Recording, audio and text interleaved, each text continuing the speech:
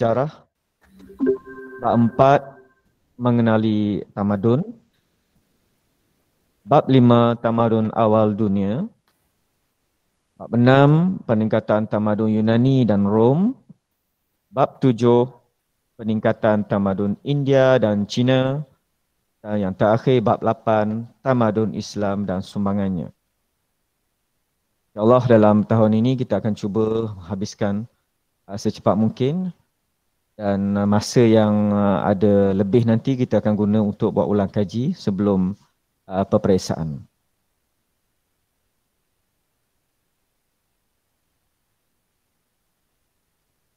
Jadi hari ini kita akan belajar bab satu uh, mengenali sejarah. Ya, awak boleh tengok gambar pada skrin masing-masing. Yang saya nak tekankan hari ini ialah 1.1 dan juga 1.2. Baik.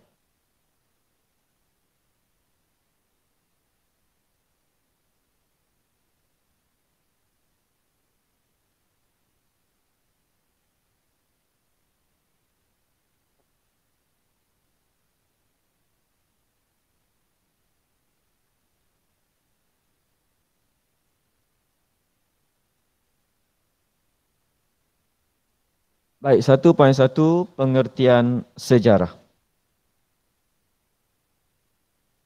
Kita pergi terus kepada apakah yang dimaksudkan dengan sejarah. Baik, dalam bahasa Melayu, sejarah berasal dari perkataan Arab iaitu syajaratun yang bererti pokok. Okay, pokok. Sejarah juga dikaitkan dengan salah silah, riwayat, keturunan dan asal usul. Itu kalau kita tengok dalam istilah bahasa Melayu. Merujuk kaum uh, kamus dewan sejarah didefinisikan sebagai asal usul ataupun keturunan dan juga salah peristiwa yang benar-benar berlaku pada masa lampau, iaitu masa, masa yang lalu. Kisah, riwayat dan tambur. Kajian atau pengetahuan tentang peristiwa-peristiwa yang telah lalu. Itu kalau ikut definisi kamus dia.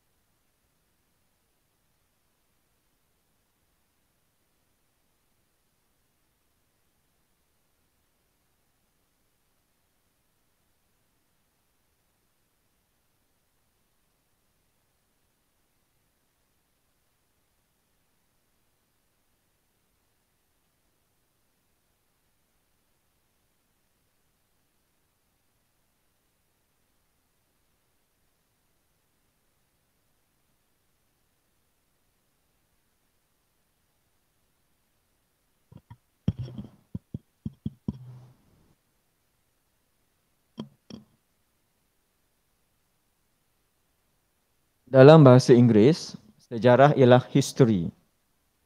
Baik, history bererti cerita tentang seseorang. Perkataan ini berasal daripada bahasa Yunani iaitu historia yang bererti penyelidikan. Jadi di sini kita boleh tengok istilah dalam bahasa Melayu, kamus dewan dan juga bahasa Inggeris sejarah itu dia lebih merujuk kepada asal usul ataupun cerita yang telah berlaku. Baik, itu pengertian sejarah. Kemudian kita pergi pula kepada 1.2 pengertian sejarah mengikut pandangan sejarawan. Kalau awak tengok pada paparan skrin ada lima tokoh di situ yang membincangkan tentang pengertian sejarah. Yang pertama, tokoh yang pertama bernama Herodotus. Sebutan dia kalau kita tengok sebutan yang betul adalah Herodotus. Baik, siapa dia Herodotus ini? Herodotus ialah sejarawan yang mula-mula menggunakan perkataan sejarah atau historia yang bermaksud penyelidikan atau penyiasatan terhadap peristiwa silam maupun sezaman.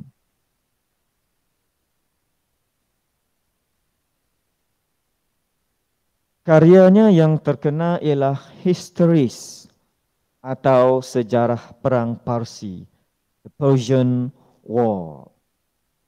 Karyanya ditulis berdasarkan kajiannya terhadap peristiwa yang benar berlaku. Dan untuk pengetahuan awak semua juga, Herodotus digelar bapa sejarah.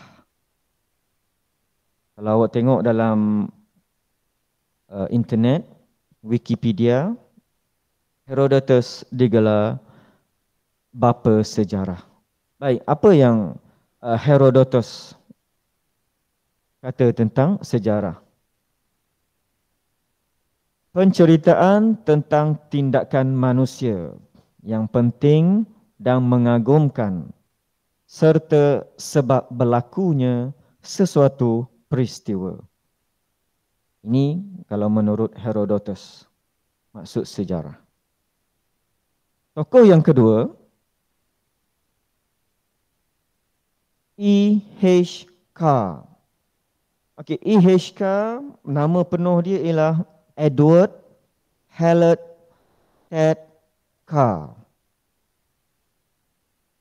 Beliau berbangsa Inggeris merupakan sejarawan, diplomat dan juga wartawan. Baik, apa yang IHK kata tentang sejarah? Sejarah merupakan tindak balas pembaca terhadap penulisan sejarah iaitu fakta-fakta yang ditulis oleh sejarawan.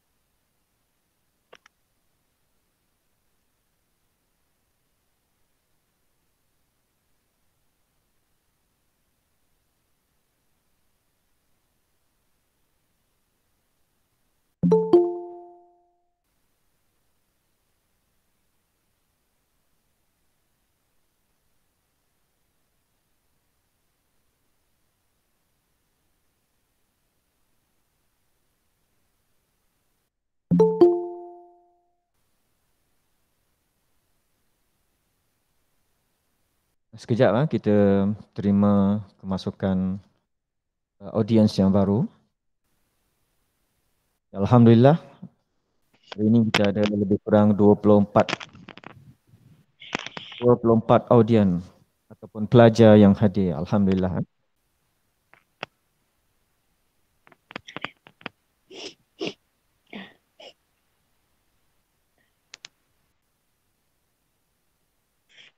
Ah.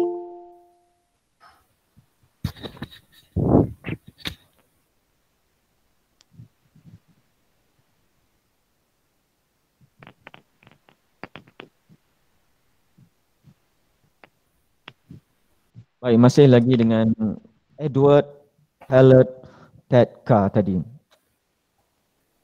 Uh, karyanya yang terkenal ialah What is History? Baik, apa yang uh, IHK kata tentang sejarah? Suatu proses interaksi berterusan antara ahli sejarah dengan fakta-faktanya. Suatu dialog yang tidak berkesudahan antara masa kini dengan masa lampau. Baik, itu ialah tokoh yang kedua, IHK. Baik, tokoh yang ketiga, Ibnu Khaldun. Ibnu Khaldun ini merupakan pakar sains Arab. Karyanya yang terkenal ialah Mukaddimah yang mengandungi enam bab yang menceritakan dan mengupas perihal kehidupan manusia bermula zaman primitif hingga kehidupan di bandar. Dan Ibnu Khaldun mengatakan sejarah membicarakan perkara tentang masyarakat manusia, peradaban dunia dan perubahan-perubahan yang berlaku pada sifat-sifat masyarakat itu. Terusnya tokoh yang keempat Tan Sri Ku Ye Kim.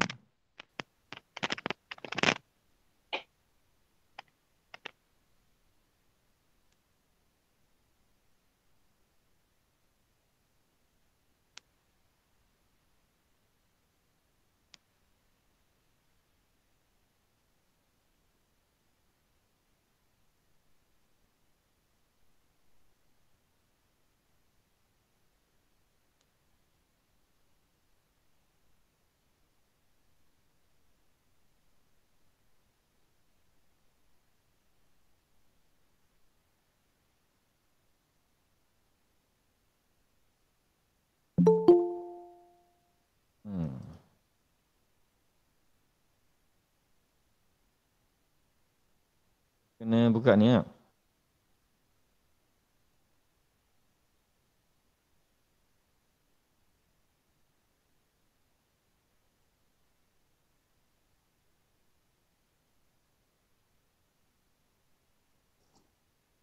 Baik, berbalik pada Tan Sri Ku Ke Kim tadi. Tan Sri Ku Ke Kim merupakan sejarawan tempatan yang tersohor yang mengkaji sejarah Malaysia.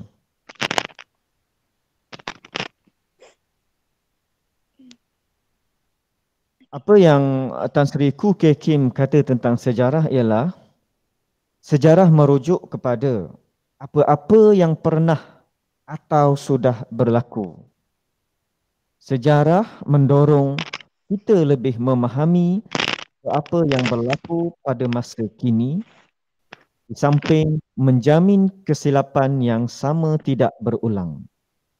Sejarah ialah ibu kepada semua bidang.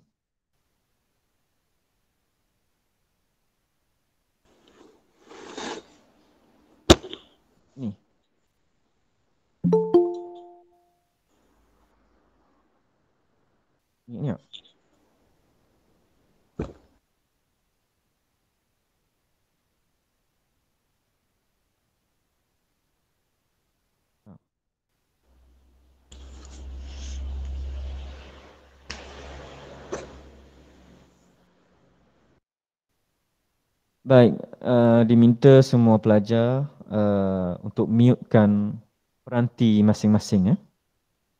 Uh, mikrofon masing-masing.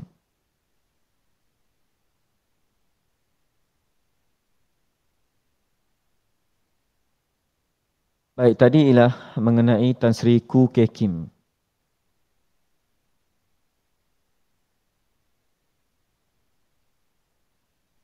Dan tokoh yang terakhir, tokoh yang kelima, Muhammad Yusuf Ibrahim. beliau merupakan sejarawan tempatan yang mengkaji tentang ilmu dan disiplin sejarah. Antara karya beliau yang terkenal termasuklah sejarawan dan persejarahan Melayu, tradisi dan transformasi. Baik, merujuk Muhammad Yusuf Ibrahim. Sejarah ialah masa lalu itu sendiri.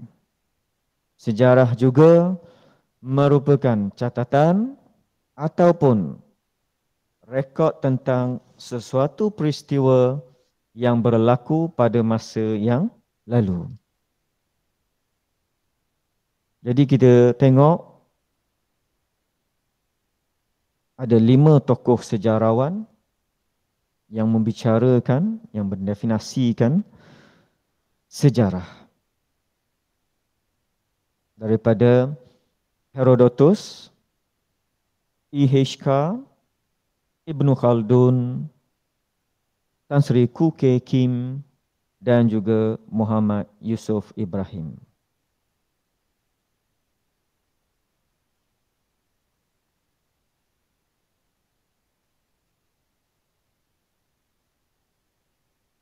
Baik, kita ada masa sedikit lagi. Kita pergi ke 1.4 itu yang terakhir sumber sejarah. Baik, sumber sejarah terbahagi kepada dua iaitu sumber primer dan sumber sekunder. Sumber primer ni ialah sumber yang utama. Diambil daripada perkataan Inggeris prime, itu bermaksud utama.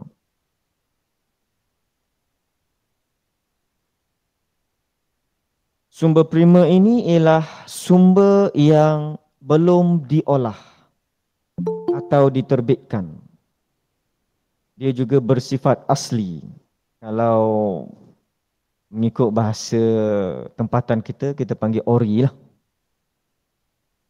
Dan yang seterusnya, sumber primer ini ialah sumber yang belum ditafsir. Memang asalnya kita ambil daripada yang asal, yang asli, yang ori.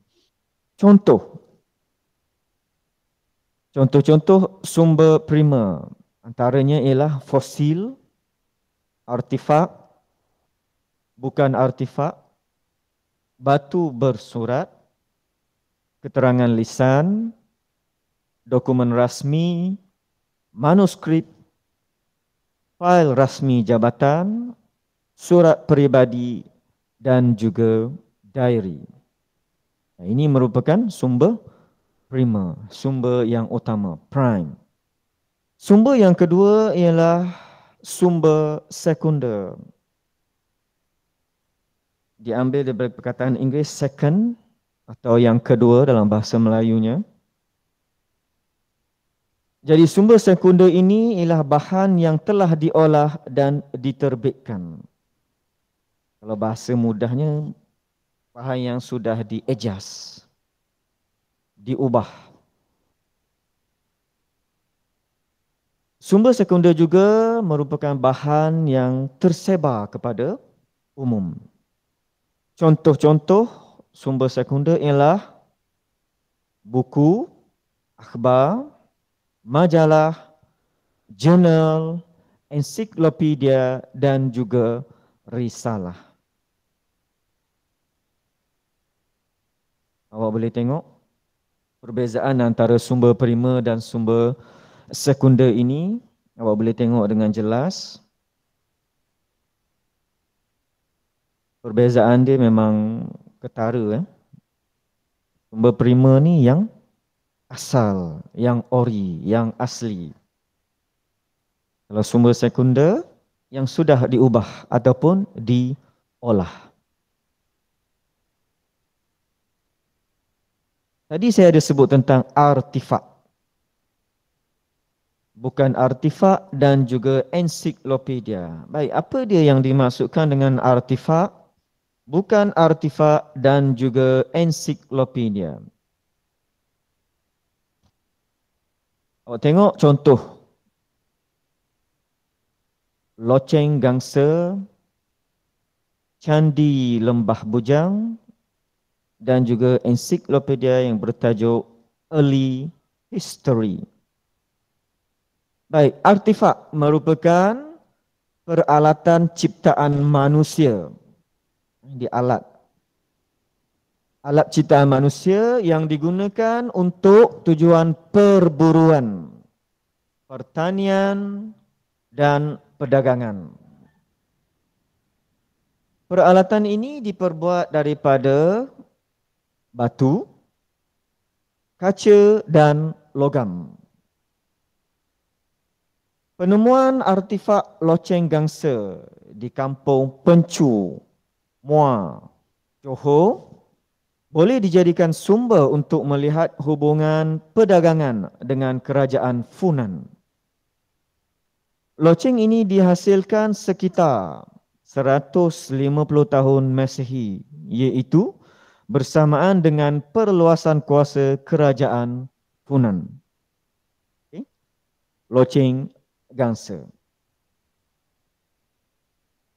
Bukan artifak pula merupakan data arkeologi berkaitan dengan budaya manusia yang terdapat di bawah tanah dan di atas permukaan tanah seperti dinding gua, dinding kota dan struktur binaan. Penemuan candi lembah bujang, awak boleh tengok, awak boleh rujuk pada gambar, boleh dijadikan sumber kajian bagi menunjukkan adanya pengaruh Hindu dan Buddha serta hubungan perdagangan antara India dengan Kedah.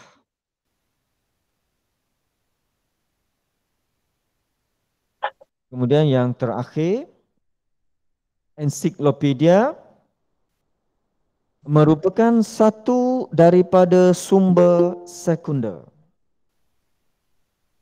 Bahan yang terkandung dalam ensiklopedia ini berdasarkan fakta dan sumber sejarah yang sahih. Maksudnya yang bukan direka lah.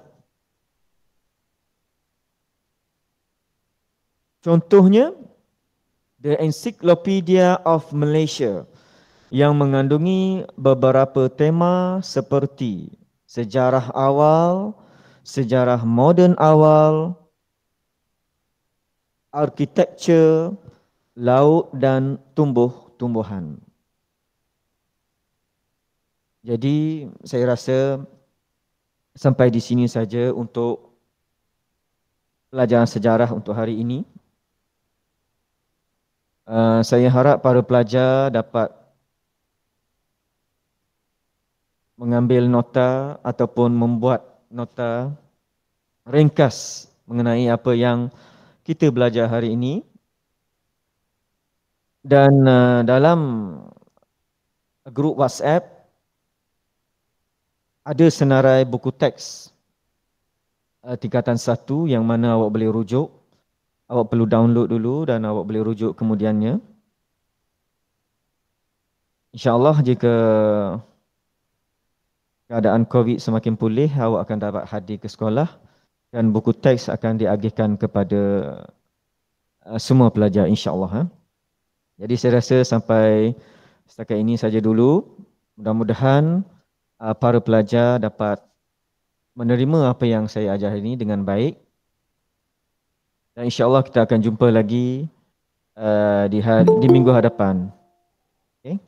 Jadi saya mengakhiri kelas saya hari ini. Wabillahi taufiq wa hidayah. Assalamualaikum warahmatullahi wabarakatuh.